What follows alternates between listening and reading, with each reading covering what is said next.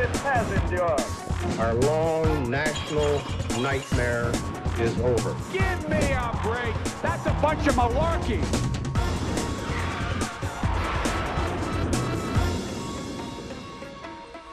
Well, howdy. Welcome to Planet America. I'm John Barron. And I'm Chas Licciardello. This week, imagine waking up as an official guest at Buckingham Palace to discover back home your husband is embroiled in a sexting scandal. Awkward? We'll find out with Hillary Clinton's closest aide, Huma Abedin. Also, this week, we're going to talk to the man who coined the phrase the Great Resignation. Or maybe we'll just quit instead. No, there's too much news to cover. It's a fair bit. Let's do this! Authorities are bracing for possible unrest, whatever the verdict, in the trial of a teenager who shot three people, killing two of them during protests last August in Kenosha, Wisconsin.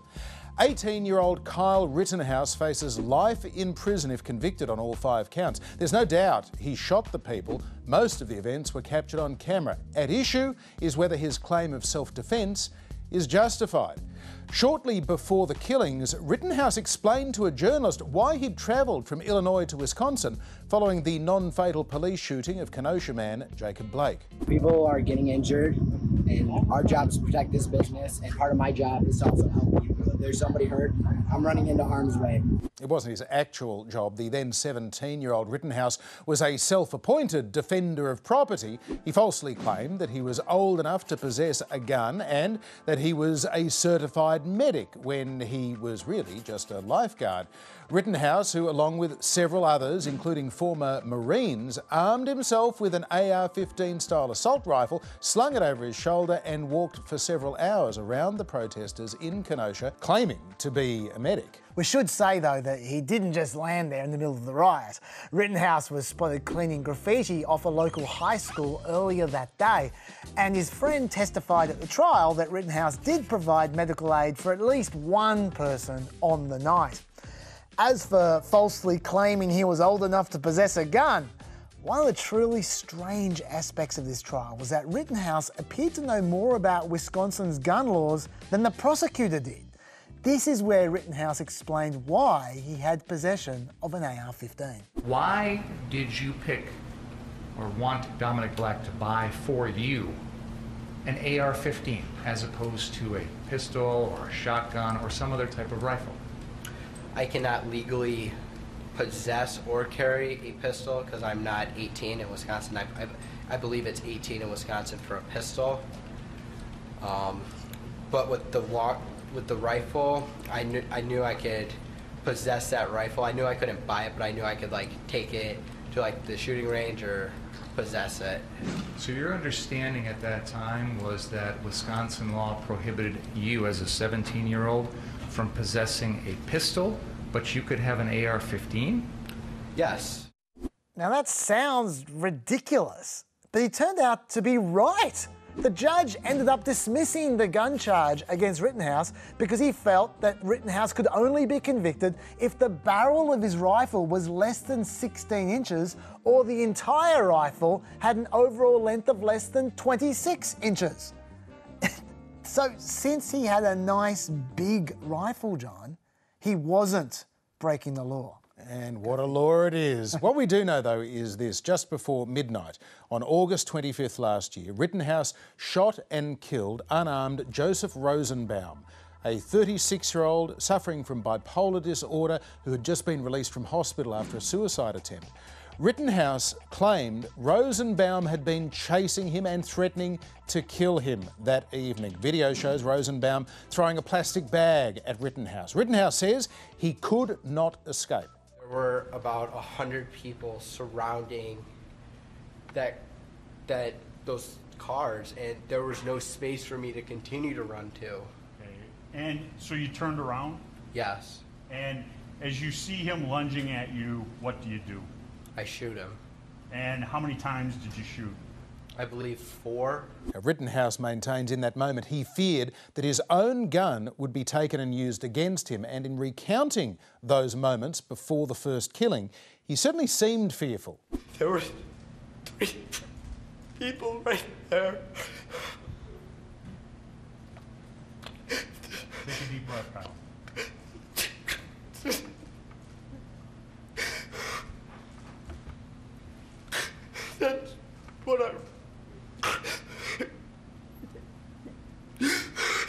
Two of the prosecution witnesses supported parts of Rittenhouse's story as well. Ryan Balch testified that Rosenbaum was, quote, hyper aggressive and acting out in a violent manner. And conservative journalist Richie McGinniss testified that Rosenbaum chased Rittenhouse into the parking lot and lunged for the front portion of Rittenhouse's rifle. The prosecutor questioned how McGinniss could possibly know what was in Rosenbaum's head which led to this exchange. So your interpretation of what he was trying to do or what he was intending to do or anything along those lines is complete guesswork, isn't it? Um, well, he said F- you, and then he reached for the weapon. Also, a pathologist testified that Rosenbaum had soot injuries that could indicate he had his hand over the barrel of Rittenhouse's rifle. So then, after killing Rosenbaum, Kyle Rittenhouse says that he ran away to escape from the mob, intending to turn himself into police. But before he could do that, a 26 year old protester named Anthony Huber tried to take Rittenhouse's gun away from him, wielding his skateboard in his other hand. Rittenhouse shot and killed him.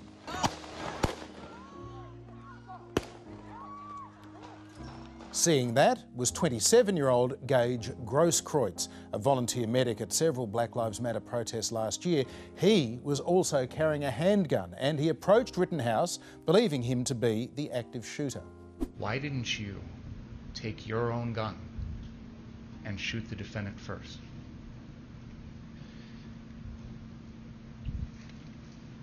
Like I said, that's not the kind of person that I am.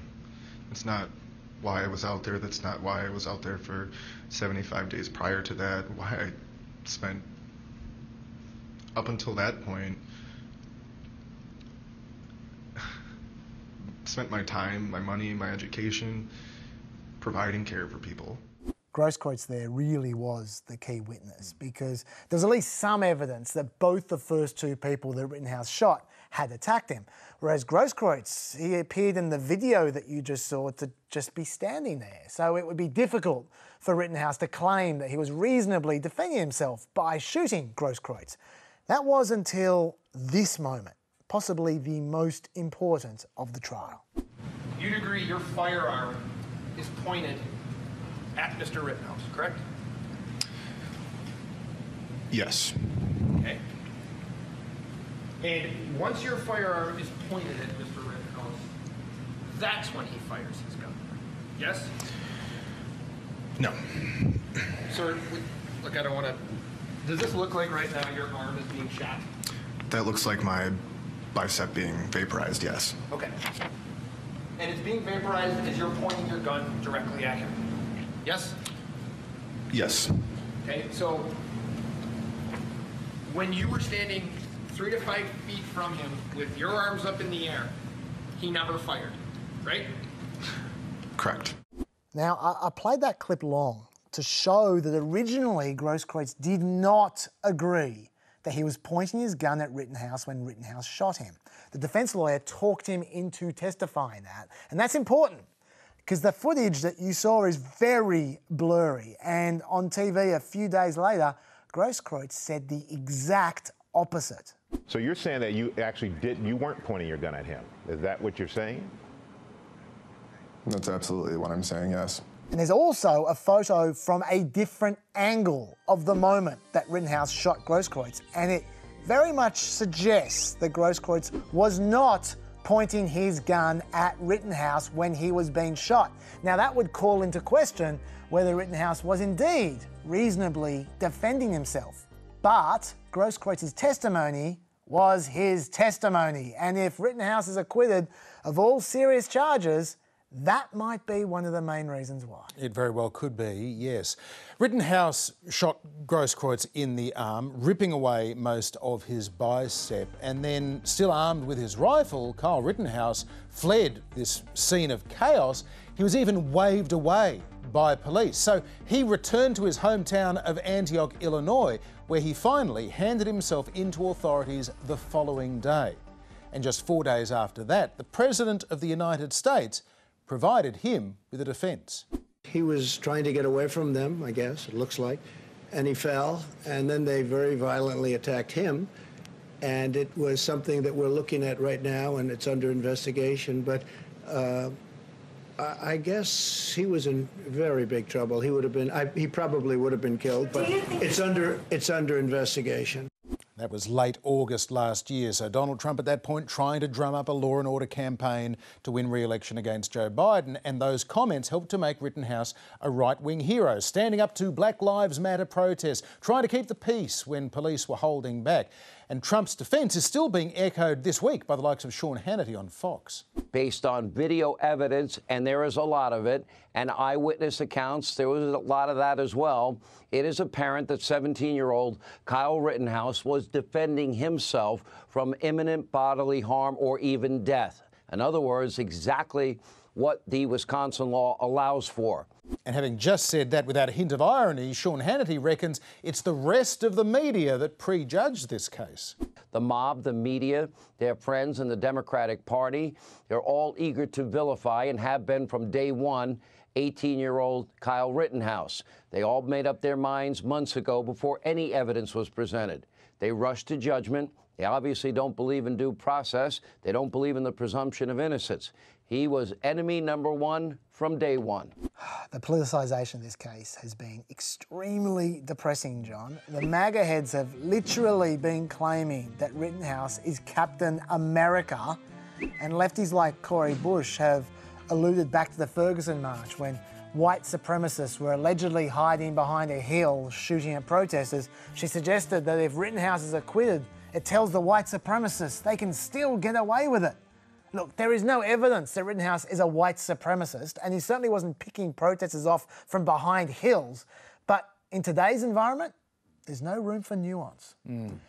500 of the Wisconsin National Guard are standing by, waiting for what comes next. Well, Ches, there was another hugely political legal case this week. This morning, former Trump advisor and confidant Steve Bannon under indictment by a federal grand jury charged with two counts of contempt of Congress for failing to comply with a subpoena issued by the January 6th investigators. Bannon has claimed executive privilege as the reason for refusing to talk to members of Congress investigating the January 6th insurrection. They want to ask him about predictions that he was making the day before those deadly attacks on the Capitol building, like this. All hell is going to break loose tomorrow. Well, Bannon's indictment is rare and the only time that anyone invoking executive privilege has been hauled before a court like this. And that's because that claim is pretty tenuous. Bannon stopped formally working for the executive branch in 2017, more than three years before the events of January 6th. And after his brief court appearance this week, where Bannon was released without requiring to post bail, he was vowing to fight on. And we're going to do, we're going to go on the offense. We're tired of playing defense. We're going to go on the offense on this and stand by. by the way, by the way, by the way, you should understand Nancy Pelosi took is taking on Donald Trump and Steve Bannon. She ought to ask Hillary Clinton how that turned out for them, okay? We're going on the offense. I could be a cynic here, Chaz, but being dragged before a court seemed to be exactly what Steve Bannon has been hoping for. He live streamed his own arrival at the courthouse, and it was very, very big news across the networks. Meanwhile, Trump's former Chief of Staff, Mark Meadows, is next in the committee's sights after failing to appear for a scheduled deposition last week. He too faces a possible contempt of Congress charge. And the first keep on coming. It's also the first prosecution of a contempt of Congress referral since 1983. Well done, Steve Bannon. That means Bannon's facing two counts of 30 days to one year in jail and a fine. Bannon's not going to be worried about that though. To obtain a conviction, you need to show that Bannon is acting with improper intent. He's just going to say he was following his lawyer's advice. In the past, federal courts have ruled that to be a complete defence for criminal contempt. This is basically just Bannon wasting time. Team Trump knows that in 14 months' time, the likely incoming Republican Congress is going to end this commission. So the more time they waste messing with Steve Bannon, the less time they have to work on witnesses who have stronger executive privilege cases, like Mark Meadows, who was, of course, Trump's chief of staff. He might have a real claim. Meadows says it would be irresponsible for him to voluntarily waive executive privilege while it's still being adjudicated in court. Maybe so, but that doesn't explain why he isn't answering any questions, even ones that have nothing to do with privilege, like was he using a private cell phone on January 6? And where are his text messages from the day? This is going to be the courtroom equivalent of an athlete untying and retying their shoes for 14 straight months, John. Yeah, they're running down the clock. Meanwhile, there's a new book out this week on the dying days of the Trump administration. It's called Betrayal by Jonathan Karl, Chief White House Correspondent for ABC America. And it does make for some eye catching reading. In the course of a 90 minute interview for this book conducted at Mar a Lago in the lobby of the golf club, former President Trump fails to condemn the January 6 rioters, even seeming to justify their threats to execute his vice president, Mike Pence, because he refused to stop the recognition of Joe Biden's election win. Were you worried about him during that, that siege? Were you worried about no, his I safety? thought he was well protected, and I, I had heard that he was in good shape. No, you I heard those it- chants. That was terrible. I mean, those, you know, the He could have. Well, the people were very angry they were saying hang Mike because Pence. it's it's common sense. How can you, if you know a vote is fraudulent, right? Yeah. How can you pass on a fraudulent vote to Congress? And later in that interview, Trump basically confirmed details of the ongoing White House campaign to pressure Mike Pence into overturning the election. If Pence did what you wanted, you think you would still be in the White House? I think we would have won. Yeah. Can you ever forgive him for that? Uh, I don't know because uh, um, I picked him. I like him. I still like him, but I don't know that I can forgive him. So it remains to be seen whether anyone like Steve Bannon, much less Donald Trump, ever see the inside of a jail cell for their actions around the January 6 attack on American democracy. But Jacob Chansley, the painted face of the insurrection, was sentenced to three and a half years behind bars this week. Chansley, otherwise known as the QAnon shaman, pleaded guilty to one count of obstruction of an official proceeding. And he was showing plenty of remorse during this week's sentencing hearing, saying, I'm to blame, and that he really messed up. Word, Jacob. President Biden finally got his photo op this week, though, and a trillion dollars to spend on roads, rail, and bridges, signing into law that bipartisan infrastructure bill. I truly believe that 50 years from now, historians are going to look back at this moment and say, that's the moment America began to win the competition of the 21st century. So, with confidence, optimism, with vision and faith in each other, let's believe in possibilities. Let's believe in one another. And let's believe in America. God bless you all and may God protect our troops. Now, let me sign this bipartisan bill. Technically bipartisan, but only six of the 19 Republican senators who voted for the bill turned up to see it signed. Usual suspects like Murkowski, Collins, and Romney, plus Rob Portman of Ohio. They all get a White House pen. Absent, though, and conspicuous in doing so, Senate Majority Leader Mitch McConnell, senior senators like Lindsey Graham, a whole bunch of others who clearly, even though they supported it, did not want to be seen in the same room as Joe Biden, even if that room is the South Lawn of the White House. President Biden, for his part, then hit the road to try and sell this infrastructure package, picking a rusty old bridge in New Hampshire as his backdrop. This may not seem like a big bridge, but it saves lives and solves problems. Let me tell you why. Businesses depend on it, like the local propane company or the sand and gravel company or the logging trucks or the public services depend on it, school buses, wastewater trucks, cross it every day. He's going to need to sell hard, John. Morning Consult only found 50% support for the bill last week, down from 58% three months earlier when it was passed by the Senate. Now, that's largely because Republican support has dropped from 40% to 22%. They've been working on this bill on Fox News. Mhm. But there's a broader issue here for Biden in a Washington Post poll, which is more than six in 10 Americans, including 71% of independents, say that Biden has not accomplished much. So he's going to want to sell this package real hard, John, because he can't spend much more money. Yes, well, as for accomplishments, Biden is still urging Congress to pass that even larger social spending bill this month, while moderate Democrat Joe Manchin is trying to tap the brakes. Still, he's worried about inflation, which is at a 30 year high. I hear it when I go to the grocery store or if I go to the gas station. They say, Are you as mad as I am? And I says, Absolutely. But back on that rusty bridge, Joe Biden was sounding confident that he will get all the votes he needs.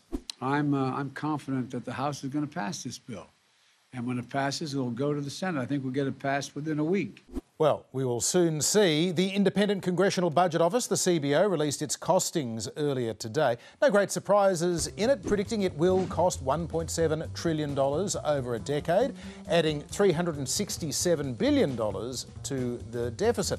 And that essentially gave Speaker Nancy Pelosi a green light to at least bring on a House vote. Yeah, but House vote's one thing, the Senate vote's the one that matters, Mm-hmm. with our old friend Joe Manchin, who's very worried about inflation. He's not the only one either. A, a Progressive Policy Institute poll of 44 swing districts and nine swing states, they found 74% of voters were concerned that two spending bills would overheat the economy and cause inflation to rise.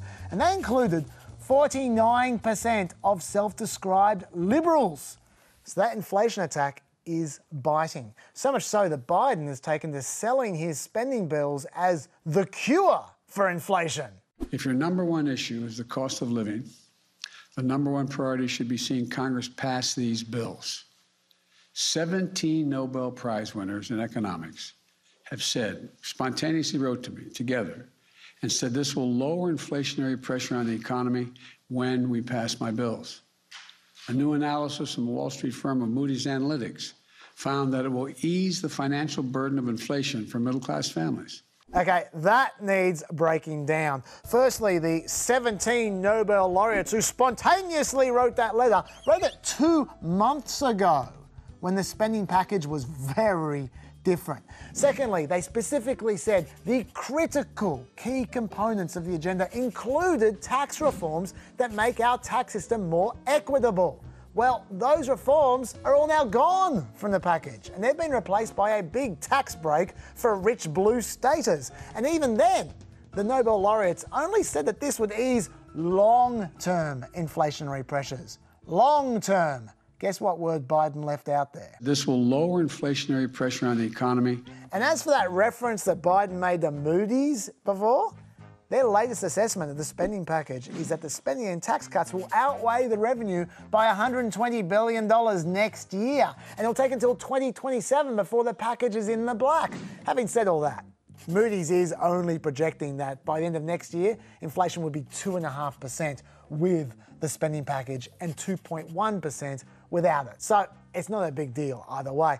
Also, to be fair, the Democrat who's been obsessed with inflation all year, Larry Summers, isn't worried about the inflationary impact of these spending bills. the 10 years of the two spending bills together, A, are less than the one year of what they did last spring. And B, unlike what they did last spring, are paid for by uh, tax increases. So I don't think that's an inflation uh, problem. I think a lot of it is vitally needed uh, investments in the future of our country. Maybe so, but this stopped being about logic months ago, John. What's about now is Joe Manchin, just how he likes it. Yeah, absolutely. Now, in a moment, we're going to be speaking to Huma Abedin, longtime advisor to Hillary Clinton, former wife of the disgraced former Congressman Anthony Weiner, about her new memoir. But first, a bit of background to jog your memory. It's July 23rd, 2013. Here we go. Uh, good, uh, good afternoon. My name is Anthony Weiner, Democratic candidate for mayor of the city of New York. The Democratic frontrunner to become the next mayor of New York calling a press conference wouldn't normally be a national, much less international news event, but Anthony Weiner isn't just any candidate for mayor. He has baggage. As I've said in the past, these things that I did were wrong and hurtful to my wife and caused us to go through many challenges in our marriage that extended past my resignation from Congress. That resignation was two years earlier when Anthony Weiner's promising political career had seemed over. It came from Congressman Anthony Weiner's Twitter account over the weekend, a photo of an anonymous man's bulging underwear. The lewd picture, immediately deleted from Weiner's account, was sent to this 21 year old Seattle college student, but also available to the public to view on Twitter. Weiner initially denied he'd tweeted the photo of his namesake. Uh, this seems like a prank that has gotten an enormous amount of attention. This is the picture. Uh, I'm sure you've seen it by now. Is this you? I can tell you this: we have a firm that we've hired to. I've seen it. It's.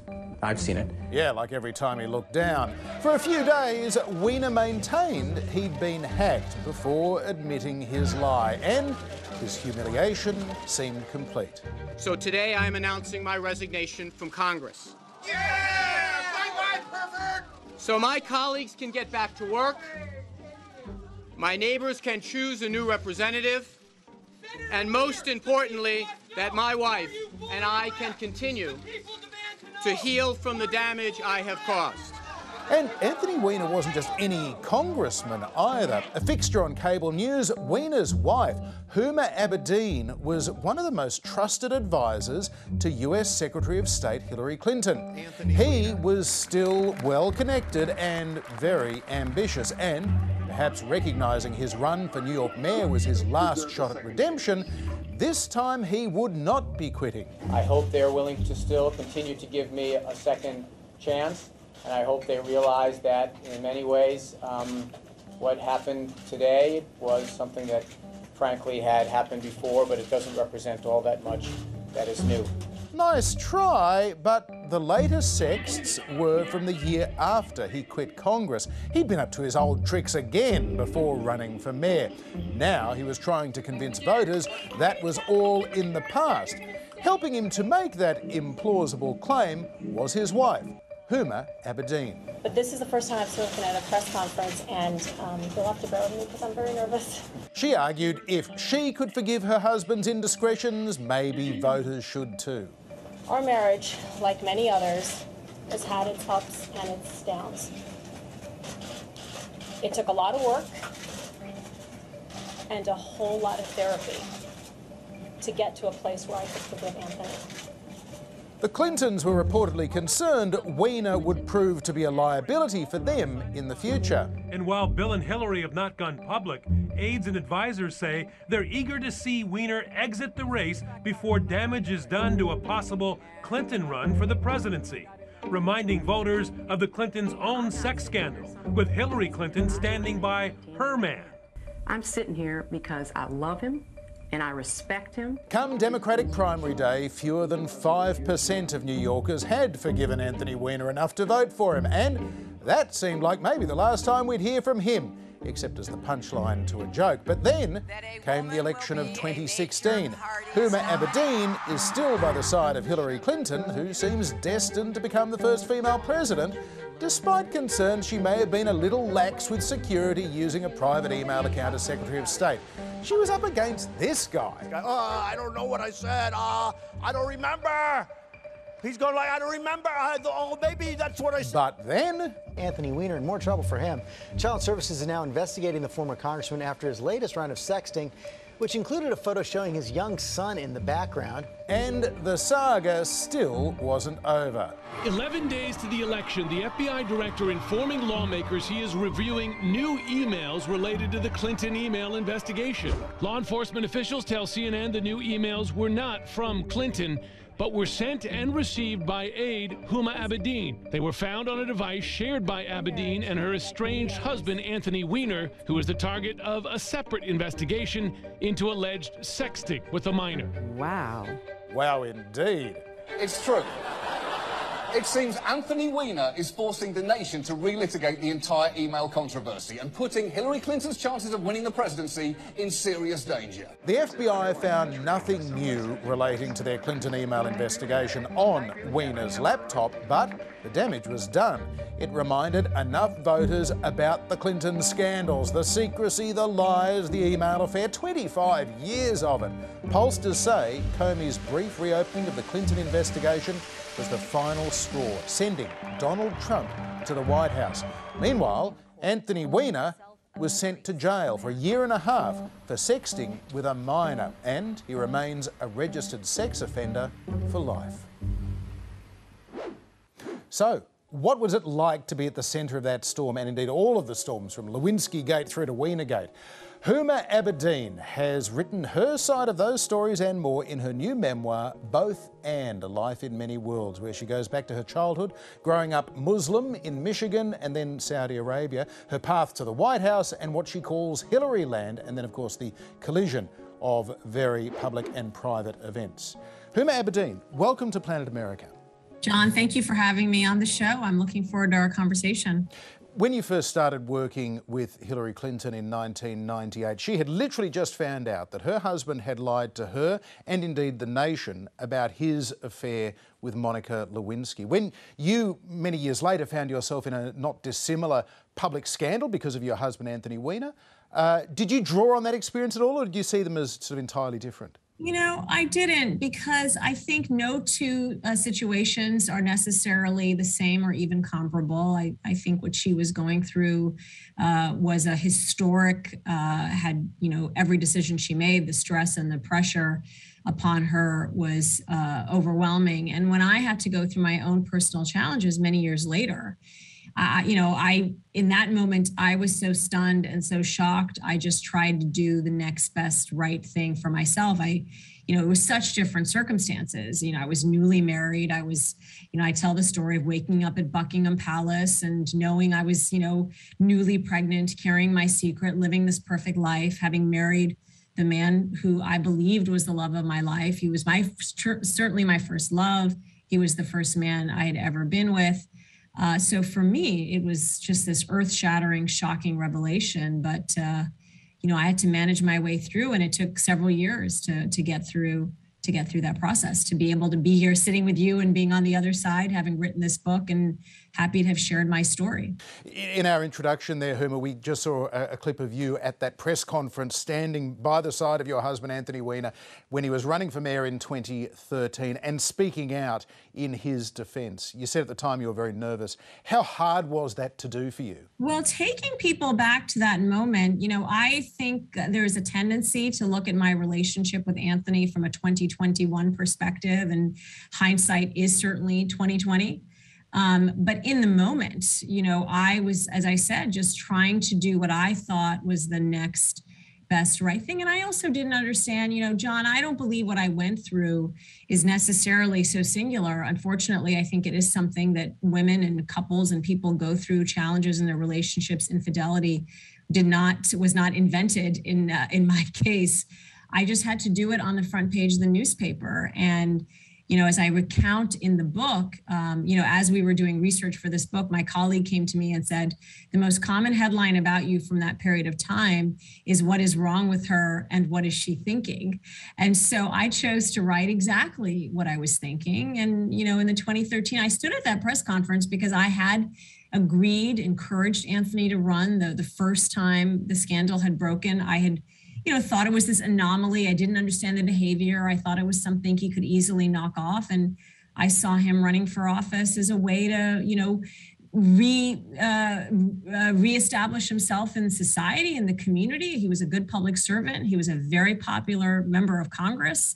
Uh, before he resigned in 2011, and I saw this as a path back. It was a mistake in hindsight for him to run, but I stood with him because I had uh, I had felt like I owed people an answer, and I had to take responsibility for my decision. I wonder. I mean, it happened to Hillary Clinton in the 1990s. It happened to you more recently. This idea that for standing by your husband, you were somehow to blame or complicit or responsible for his infidelities and his scandals. What do you think that is about? I didn't, you know, I didn't know how to deal with it. I'd never, you know, I didn't grow up in the, a family. You know, I came from an immigrant family, came to this country to pursue the American dream. I grew up in Saudi Arabia. It was not an environment where we went to talk to strangers about our problems. And and I had nothing. I didn't know any parents uh, who were divorced uh, when I was growing up in Saudi Arabia. It was a, this was entirely a new, uh, a new space and place for me to explore. I did feel as though you know we were in a bunker together uh, right at the beginning. You know, you you know the disinviting from parties, the being asked, you know, volunteering at a food bank and being asked not to come, and so yes, I mean the shunning to some extent. Certainly, I had a very supportive family and a very very supportive group of friends, but nobody really knew what to do or how to help us. I mean, sort of they were just there to be there. But in terms of seeking professional help, that's something we had to do on our own. And it also took a very long time to understand the behavior. I think mental health, you know, in part, as I've had been on this book tour around the country, I have to tell you, John, every single day I will meet somebody or get a message from somebody who says they understand. And people who will say, I don't understand. It is in in in my opinion, people who, um, or in my judgment, people who just never had to live with somebody, don't have a partner or a parent or a child who's either dealt um, with mental health issues or addiction, you know, addictive behavior.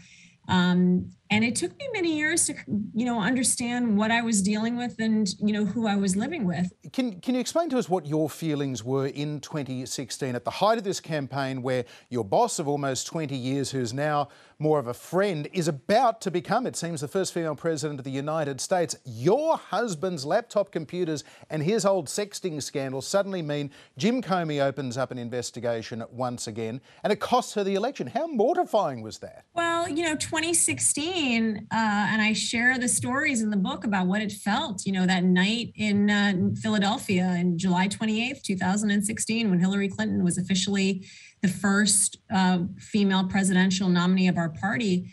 I uh, I recounted how the feeling in the room, the pounding on the floor was so intense. I thought we were going to fall through the energy, the excitement, the history she had just made for generations of women and girls in this country that you know something we could carry forward with a tremendous amount of pride. There was so much excitement. So yes for 11 days before our election for this unprecedented announcement from the then FBI director in an election that was this close every little thing mattered and this was a big thing and there were already plenty of external forces as you know, Hillary has recounted herself in her own book, everything from foreign government intervention, so from to challenge, you know, fake ads on social media. I mean, it was the incoming was constant. I write a whole uh, passage in the book about the sexism, the constant sexist remarks she had to endure. It was constantly challenges thrown at her, the fake news that was just prevalent, people we'd run into who would believe these rumors that she was dying or some horrible, you know, accusations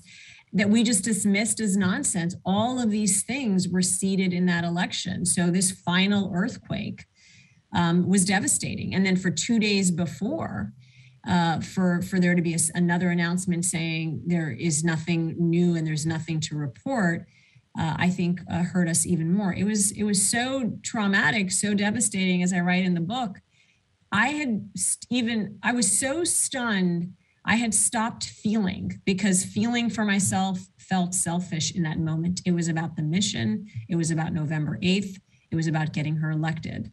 And we all know how that ended. Huma Abedin, when you hear people say Hillary Clinton, she didn't win the presidency either time she ran because she's just not likable. She rubs people up the wrong way. Uh, what do you put that down to? Is that is that her gender? Is it something about her personality? Is it something about the rest of us? What do you think? Well, you know, it's one of many reasons I wrote the book. You know, as I say in the end of the book, I, you know, I try to approach this book as a show, not tell. It's not telling you this and telling you that. I try to show people what it was like. I take people onto Air Force One with us. I take people into the Situation Room or into the meetings at the State Department what were the motivations of this woman, or actually whether it was Hillary Clinton or Bill Clinton or Barack Obama, all of whom I had the privilege to serve with. What, you know, revealing the kind of, and John McCain, even the other side of the aisle, Lindsey Graham, Republican senators who, um, you know, who uh, Hillary worked with, this idea of what American leaders, what motivated them, their values and their principles, which I hope I have done justice to in the book, uh, I tell a story in 2016 about traveling to a fundraiser, uh, uh, speaking on behalf of the, the campaign, a surrogate, as we call it. And as I gave the speech, and I was very nervous about public speaking. I'm terrified of public speaking. I um, I finish. I just get up and give a personal story, and when I when I finish, uh, one of the audience members gets up and says, "I don't understand why doesn't Hillary talk about herself this way? I mean, these stories are amazing." And I said then, which is what I still believe, is that she never believed it was about her. She was a serious, you know, policy driven. She was solution driven. Everything about what animated her, got her up in the morning was how do I make every man, woman, and child in this country's life better, easier, more prosperous, and more fair? And she, for the most part, ignored the little personal, you know, uh, attacks. And for many years that worked in the 1990s you know, when John, when I grew up in the Clinton world of politics in the 1990s, it was just the beginning of the 24 hour cable news uh, shows. You had a proactive message you drove every single day. So whether that was healthcare or education, that was the message you talked about every day, and you ignored any of the nonsensical fake news that might be percolating. Now, as we learned in 2016, we live in a 24 second news cycle. So you you have and, and as you know i think we learned late you have to respond you have to counterattack you can't you cannot assume people are not going to believe nonsense because as we learned in the aftermath of 2016 people believed plenty of nonsense in this country. And i hope when you close this book that you will see and i hope i've done a good job that you know she would have been an extraordinary president uh, of the united states. And not because she was the most qualified woman to run in this country because I believe she was the most qualified person. Huma Abedin, a pleasure to talk to you. Thanks for being with us on Planet America. John, thrilled to be talking to you. Thank you for taking the time. I appreciate it. Yes, here's the deal. October was an encouraging month for jobs. The Bureau of Labour Statistics announced on a website that apparently hasn't been updated since 1996 that there were 531,000 new jobs and a 4.6% unemployment rate. So we should celebrate that, or at least BLS style. Yay! Moderately encouraging results. Nevertheless, the very same week, Gallup announced that 68% of the country said the economy is getting worse. That's slightly contradictory, isn't it? Oh, well, yes, but not as contradictory as the very same press release declaring a record high 74% of people saying it's a good time to find a quality job. While they're saying the economy's getting worse. Weird.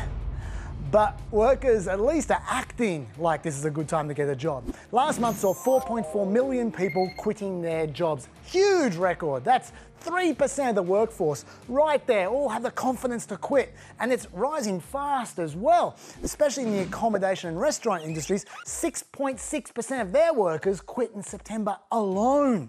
This has been the story all year. A record 34.5 million workers have quit so far this year, almost 3 million more than the next most quits during the boom economy of 2019. And workers aren't just quitting either, they've been striking as well.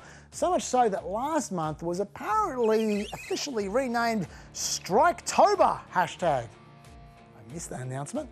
Approval of labour unions is up to 68% in America now as well. That's a 50 year high, which kind of reminds me of that song. What, what's that song?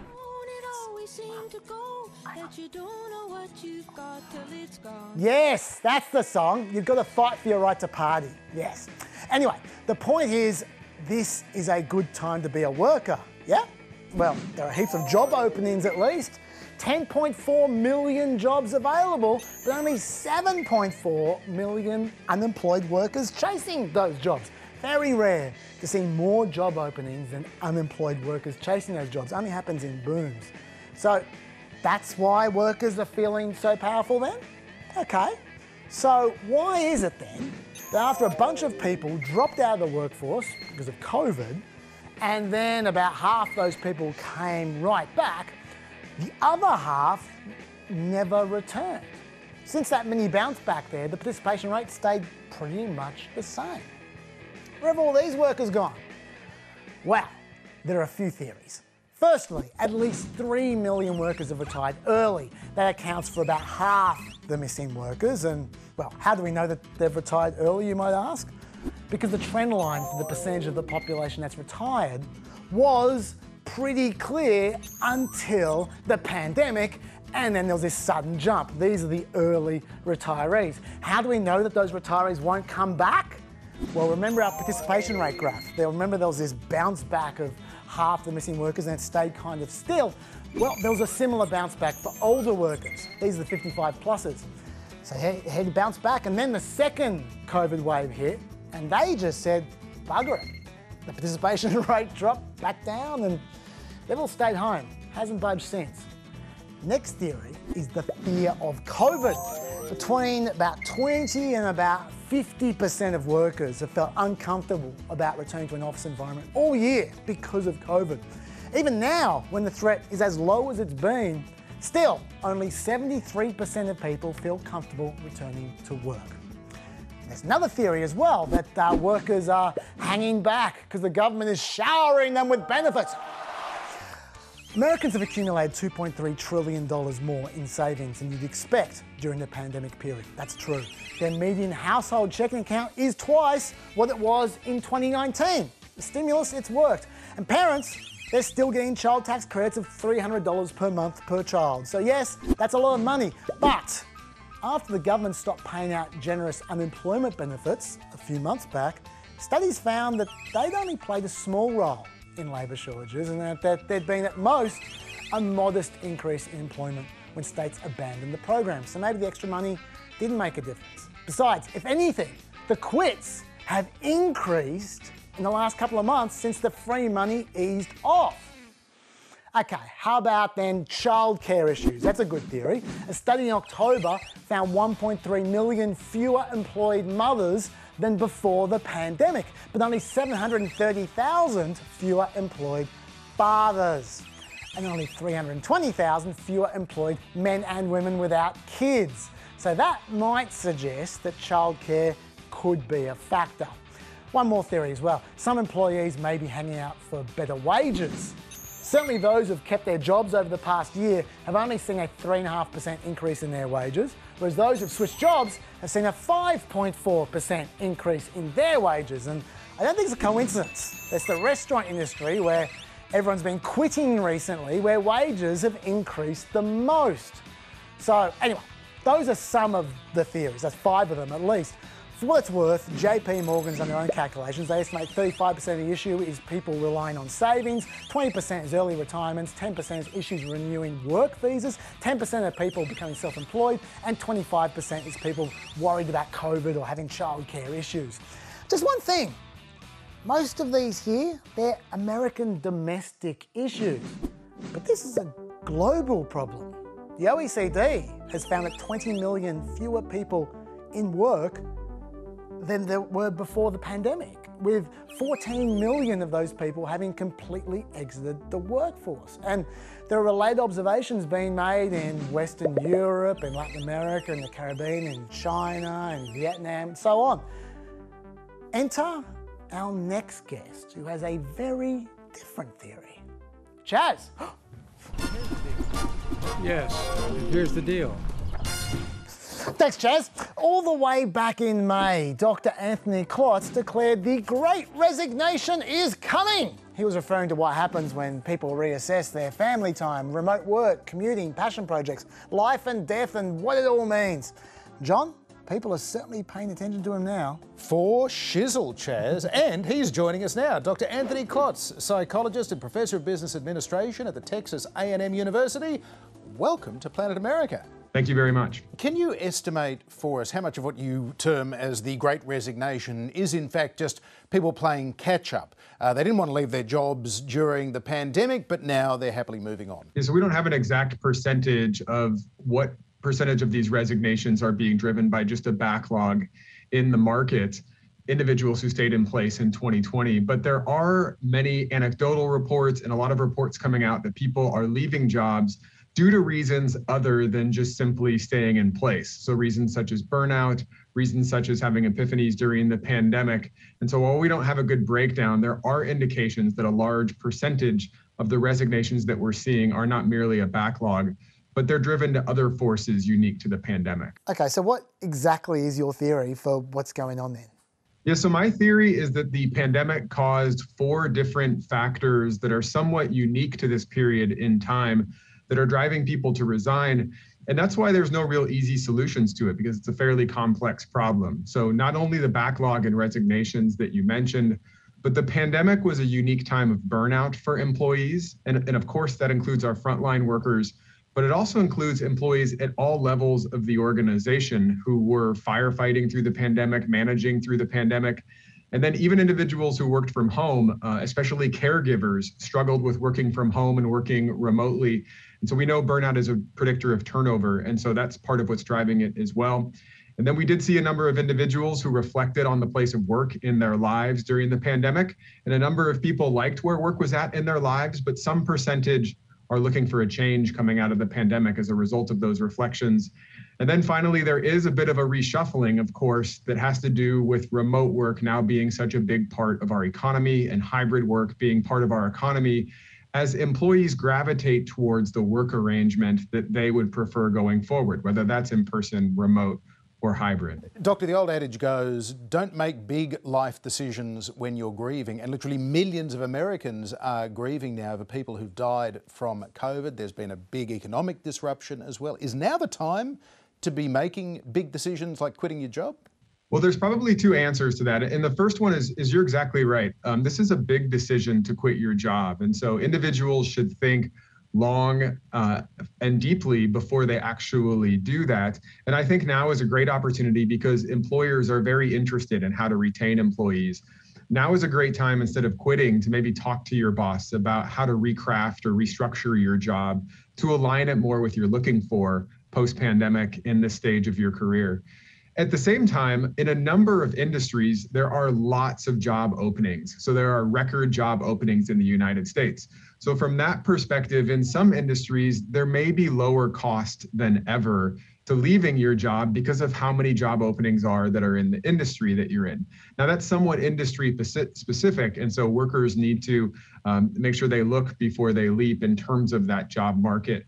Um, so, it is a big decision, but at the same time, with the job openings we have, there may be a little bit lower risk than there has been in the past. Dr. Klotz, if there are burnouts, such as frontline workers or caregivers, or there is a push, as you say, for more remote work, then why are the industries where there's the most quitting the ones that have nothing to do with burnouts or remote work, like restaurants and accommodation? Well, those are the industries, service work, accommodation, and healthcare, that were really stretched thin during the pandemic. And there's probably a couple things going on. One is just the overwork has led to burnout. And, it, and it's not just overwork, but overwork during a time of personal stress in a lot of our lives.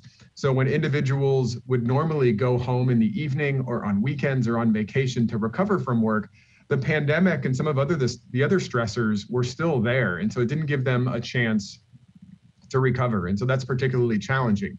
At the same time, when individuals are overworking, they're also probably uh, saving some money or making more money than they normally would. So there is a statistic here that in 2020, uh, savings went up, household debt went down in the United States, which is not a common thing at all. And so you can imagine these industries are the ones that have a lot of job openings right now. And so if you're an individual who's in one of those industries and you're burnt out and you saved a little bit of money, this may be a time to take a little bit of time off of work or to go back to school or to enact some other plans that maybe you've saved up a little money and are able to pursue. Finally, Doctor, given that you predicted what is happening right now, what's your prediction now for what's going to happen next? Yeah, well, I'm really careful after getting one prediction right um, to not make any more and just stay one for one uh, on those. But I, I, do think this will, we're entering a period of time in which organizations are really experimenting with different ways of working, different ways of interacting with their employees, and are collecting a lot of data in terms of can employees be as productive working hybrid and remote? I think the answer is yes. Are employees as innovative working in those situations? I think a lot of companies are asking that and trying to find those answers. So there is going to be this period of um, movement that happens as employees try to find the organizations that really fit how they feel post pandemic and companies change to figure out who they are going forward. And so I think we're entering a period of time with elevated resignations, but the end of that, whether it's in two years or five years, and I think it will be somewhere between there, is a better world of work with more options and benefits for employees. And if that comes true, then that's at least one nice silver lining from the pandemic is improving the world of work from what it was in 2019. And it did have a lot of room to improve from there. Dr. Klotz, we appreciate your time. Thank you for being with us on Planet America. Thank you very much. And that is it for another action packed trip to Planet America. You will find the full interview with Huma Abedin on ABC iView and online as well. More at the same time next week, plus a very peppy pep podcast for you as well, right there. Good night.